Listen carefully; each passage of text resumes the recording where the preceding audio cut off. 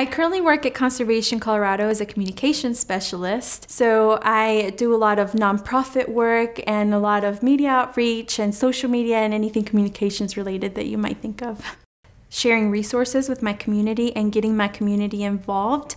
Growing up, I've been very family oriented, so it's been really important for me to be involved and to build relationships through that. So, the most rewarding is getting to know people out in the community practice public speaking at a young age. It's also really important to practice your writing. Um, a good way to do that is to get involved with your newspaper, your school newspaper, and to just make sure that you're getting involved in writing and practicing because practice makes perfect. So, practicing like talking to people, if you want to practice with your friend or with your mom at home, and just making sure that your point is getting like across so that people can just get to know what you're advocating for and to know what you really care for.